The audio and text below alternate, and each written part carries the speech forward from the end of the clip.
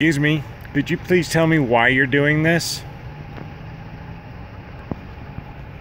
Well, people have been asking this for a long, long time, and I think they're owed an answer. Could you please tell me why you just did that? Why?